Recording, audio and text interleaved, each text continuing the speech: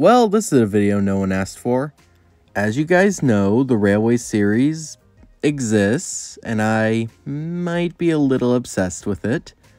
So, since at the point of recording this, there hasn't been another installment in the Railway series since 2011, I have to wonder, what may have happened between 2012 and 2022 on Sodor?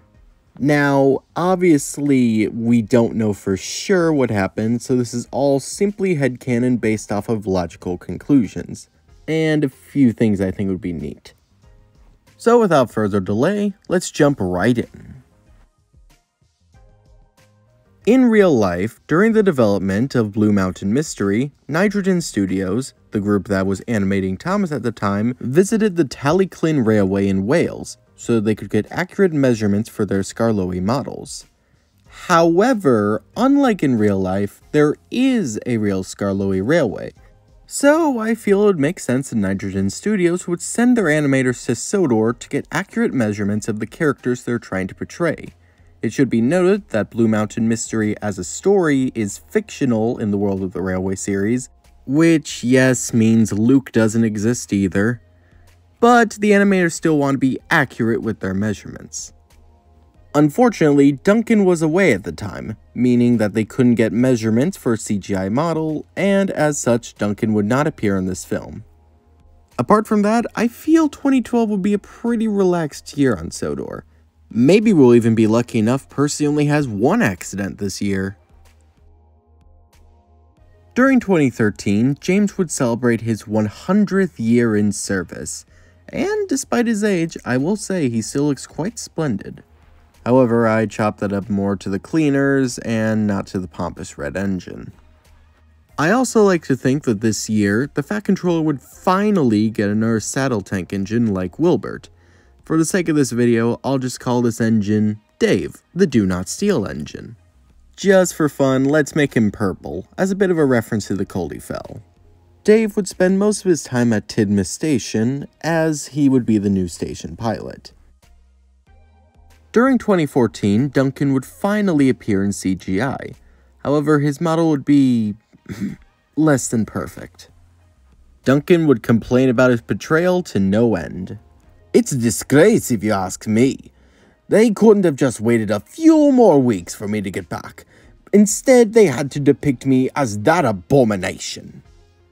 This couldn't have come at a worse time, since, as a bit of cross promotion, the Thin Controller decided to briefly repaint his engines to resemble that seen on the television series.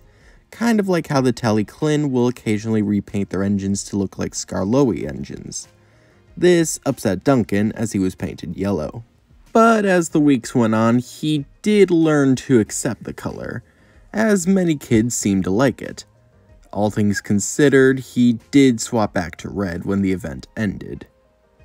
2014 would also mark Toby's 100th year in service. Congrats to Toby, but something about him being younger than James just feels so wrong. Coincidentally, this would also be the 100th anniversary of the Northwestern Railway as a whole. Thomas, being the first engine properly owned by the Northwestern Railway, would pull a very special train to mark the occasion. And as if all that wasn't enough, this year would also mark the 30th anniversary of the television series. 2015 would mark the 70th anniversary of the Railway series, to celebrate, the TV series would create a movie known as The Adventure Begins. Several of the Fat Controller's engines would get an early screening of it at Tidmouth Sheds. Although there were definitely liberties taken with their story, the engines overall enjoyed it. To celebrate the anniversary of the books that made them famous around the world, Edward would pull a special train known as the Awdry Local across the main line. Speaking of anniversaries, this would mark Thomas's 100th year in service. 2016 would mark the 120th year of Edward the Blue engine, one of the oldest working engines on the Fat Controllers Railway. This year also marked the Flying Scotsman's famous return back to steam. I like to think Gordon would be at the ceremony, the humbly retired express engine would shed a proud tear at seeing his one remaining brother brought back into steam. I feel 2017 to 2019 would be fairly uneventful. However, it is worth noting that Henry would celebrate his 100th anniversary in 2019. Sadly, this would be the calm before the storm.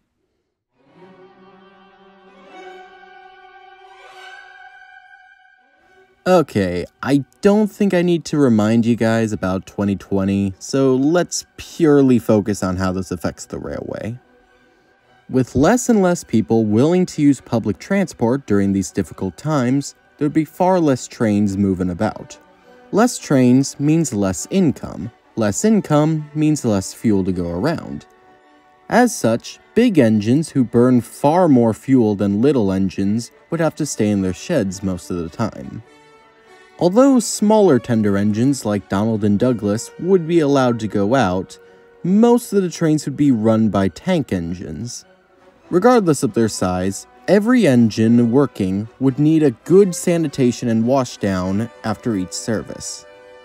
On the upside, 2020 would mark the 75th anniversary of the Railway series. I like to think there would be some celebration for this. Perhaps, one by one, the Fat Controller's famous engines would exit the yard so people could see them pass by from a safe distance. This could be broadcast, of course, for people who aren't on Sodor. Alternatively, maybe something similar to Thomas and the Royal Engine could occur. I know I said television events don't apply here, but, you know, it could still work. I'll leave this up to you to decide. Sadly, as the festivities ended, the engines were sent back to their shed. The big engines would be quite annoyed, as they would spend weeks on end sitting around doing nothing, growing more and more irritable. The smaller engines would also be getting quite annoyed. They had to do mainline work, which would be difficult for any engine, much less engines far smaller than those intended for it. Sadly, all this bottled up rage would have to come out somewhere, and of course, some bad news came at the worst time. Here comes Thomas! Yep, one of the drivers told the engines about the reboot. This created a fit at Tidmouth Sheds. Prideful, boastful, and other engines concerned with their own image were appalled by this shameless interpretation of their lives, nay, a mockery of their lives. While other engines, like Edward, were less concerned about the series. Sure, they didn't exactly like it, but at the very least, it doesn't affect them as working engines.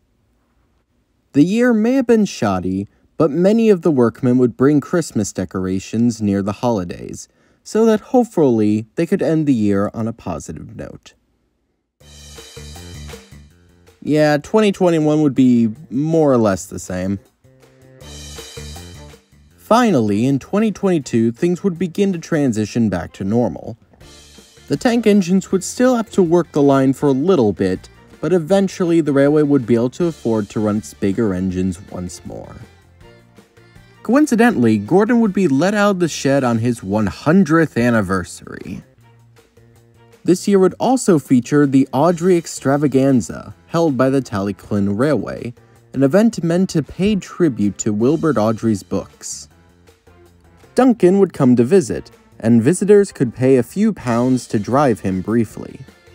However, I'm sure Duncan would complain about these unprofessional drivers operating me, Peter Sam would also come to visit, pulling a special picnic train. Now isn't that just perfect? Our timeline begins with the Talyllyn and ends with the Talyllyn. Well, I'm sure there's things I missed, so if you guys have anything to add to this timeline, just let me know. Also, as a side note, both Flying Scotsman and Rex will be celebrating their 100th anniversary this year in 2023.